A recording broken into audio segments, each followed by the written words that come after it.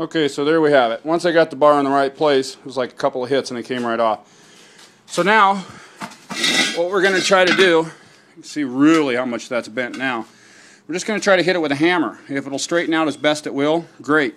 If it don't, we're going to heat it up with the torch and then we're going to bend it. Um, I like to use these things on the back side to hold it to get the same edge. Socket, whatever you have to do to try to get that same edge so that it doesn't dip like that. And then just smack it as hard as you can. So let me, and just, just smack it that way. It's not going to hurt it.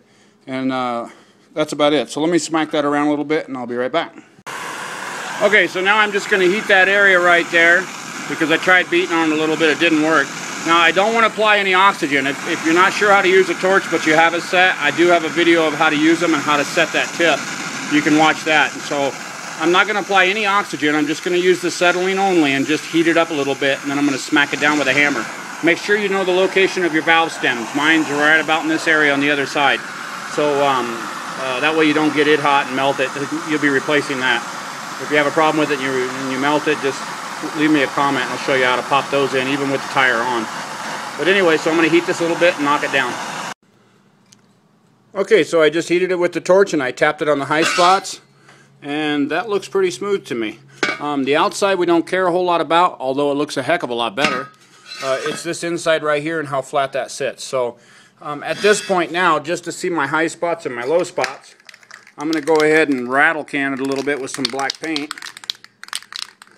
Plus this will help to cool it off a little bit quicker so I can touch it. So it actually looks pretty good right there. Yeah, it's definitely straight enough for a tire. So there you have it. The rim is all straightened, so I'll uh, I'll throw it back on now and see if uh, if it's gonna hold air, which I I have no doubts that it will.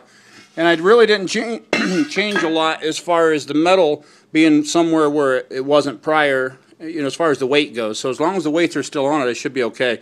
But it's always good to rebalance them if you're going to put new tires, or it's always best to put a new rim on here. But that's not what this video is all about. We're about fixing stuff, making it work for now. So I hope this helps you out. I'm going to throw the tire back on there, and uh, that's about it.